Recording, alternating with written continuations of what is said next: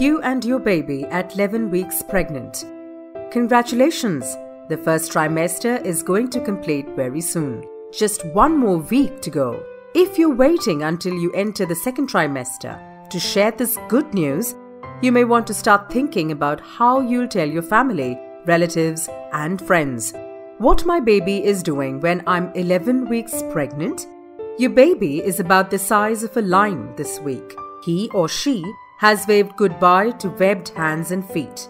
Hair follicles form on the crown and rest of the baby's body this week.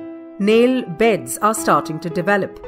Your baby's head still accounts for around half of the length and torso will grow over next few weeks. Your baby's bones are hardening, but his or her skin is still transparent. As your baby is surrounded by amniotic fluid, he or she has learned to swallow.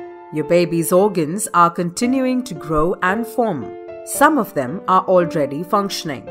More blood vessels will appear in the placenta to provide nutrients and oxygen to your growing baby. The ears of your baby will move to their correct position, that is, from the neck to the side of head.